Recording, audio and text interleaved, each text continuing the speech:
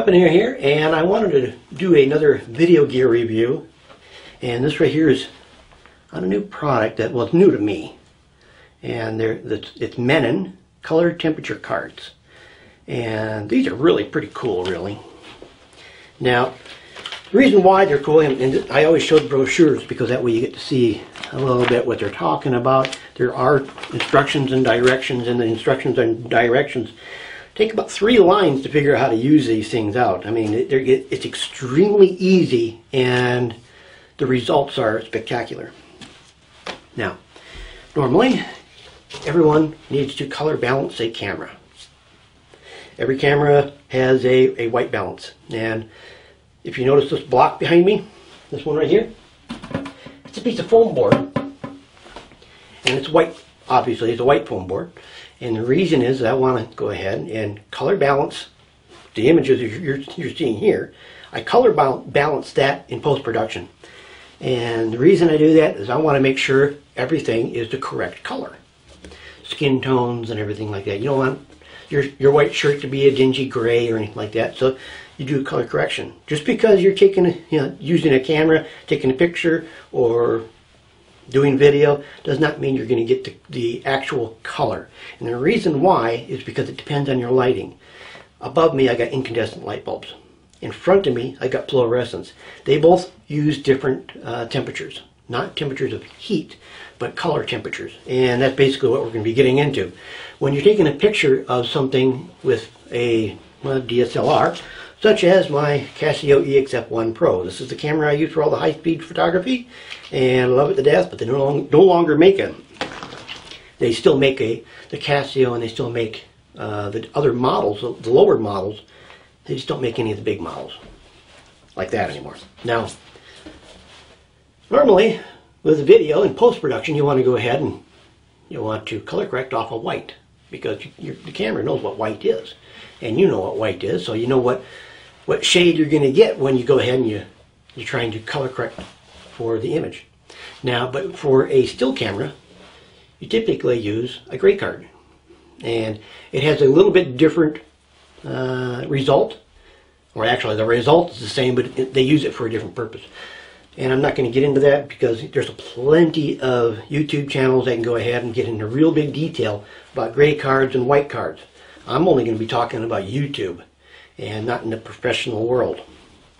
Now, the whole point of the of these is color correction.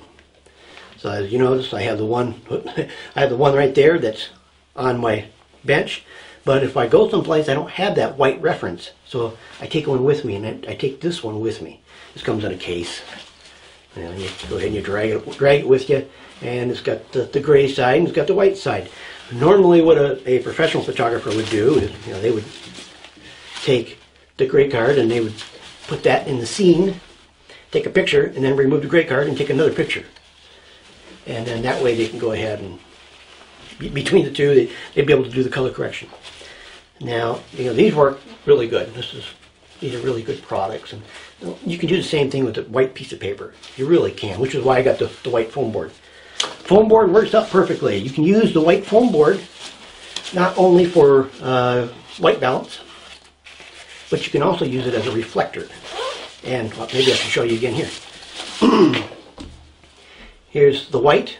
If you go ahead and angle that differently, you're going to catch like the light above.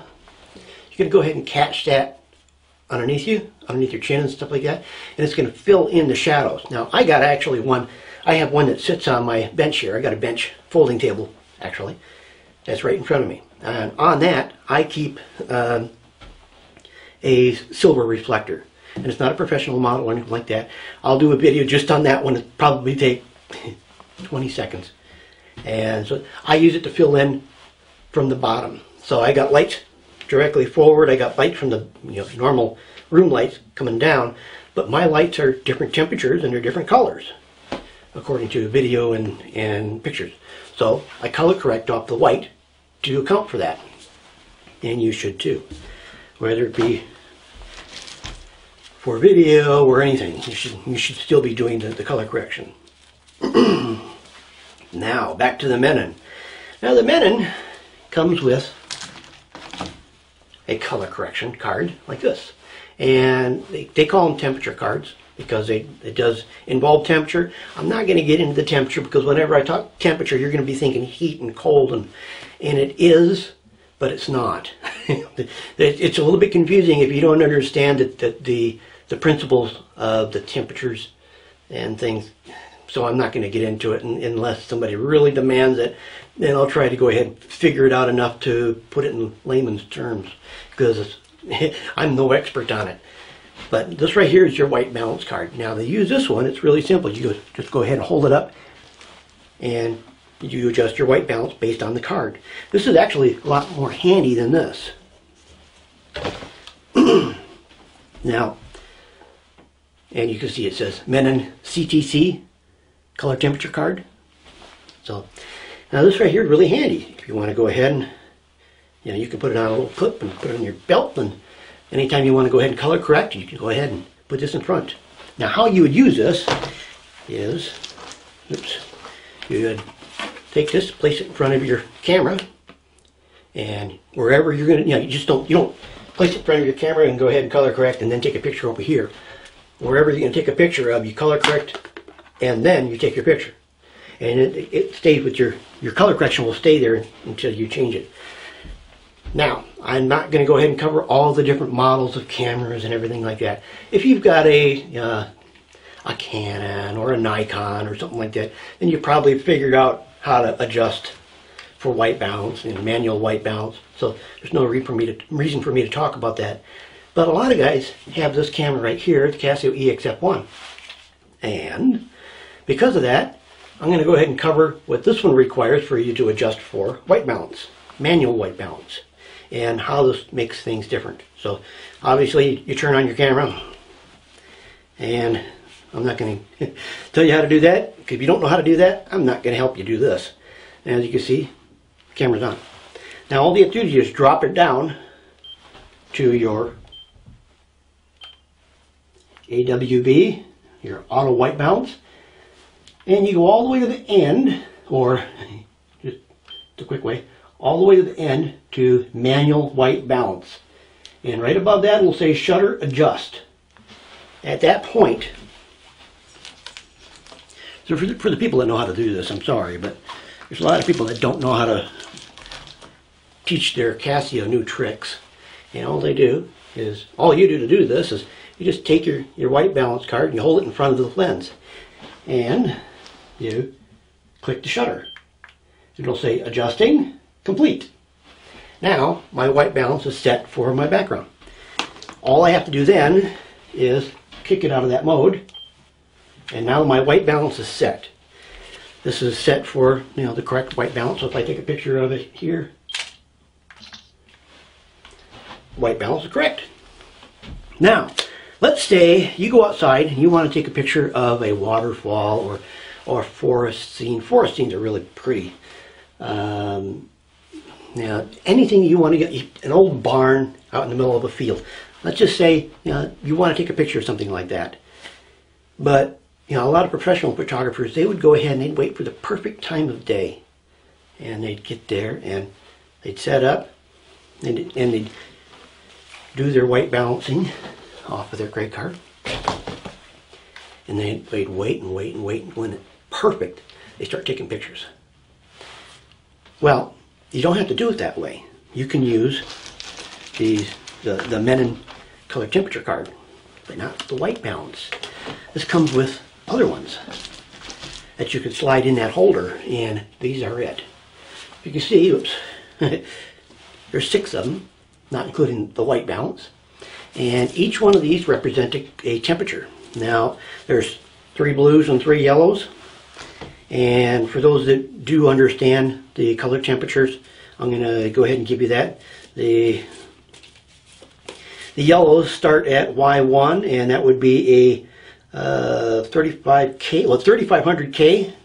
Y2 would be 3000K, and Y3 would be 2500K. And I'll give you the blues for those who, who want it. The B1 is 12,000K.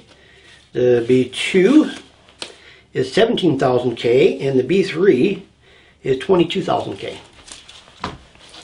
Now these these are really really nice.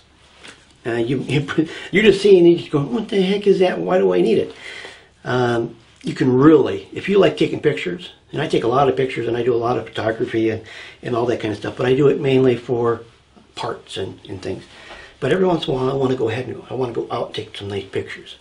Well, with these, it allows you to take spectacular pictures. Now normally a professional photographer, like I said, they would go ahead and use the white card and capture, capture the actual temperature, color of the surroundings. So they wait perfect time of day, and if they wanted a a uh, a, a, morning or a dusk photo, they'd get out there in the morning or the dusk and they take photo, photos. Well, you can do the same thing at noon with these. So I'm going to blow your mind, and I'm going to hold up these the blue cards. The blue cards, what you do is, and it works just the way the other one, you know, the white balance was. You take the white balance card and you take that and you pull it out and then you slide in the blue. Well, I'm not going to slide that in there. I just don't have the fingers for it. And you take the card, and you know these are like these are translucent. I don't know how well that shows up, but I remember I look at a black and white screen on purpose. You take the card, you put it inside the card holder, and then you take this, take your camera, and then you white balance correct off of the blue. And if you take the white balance off your blue on whatever background. It's not going to work in here because it's just too dark for that kind of white balance. But we go ahead and we adjust our white balance again. We drop it down to manual white balance and we do our shutter adjust. And now I'm going to go ahead and I'm going to try to get a little bit closer so you can see how that ends up looking.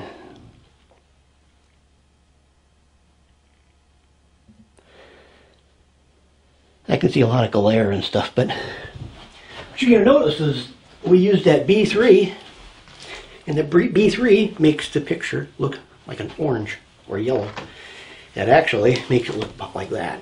So, kind of the rule is At least my rule is, not, not the rule. My rule is if you want to have your scene a, a bluish, a, dark bluish, which would denote uh, the, uh, the sun has just gone down and, and everything has that kind of blue tone to it.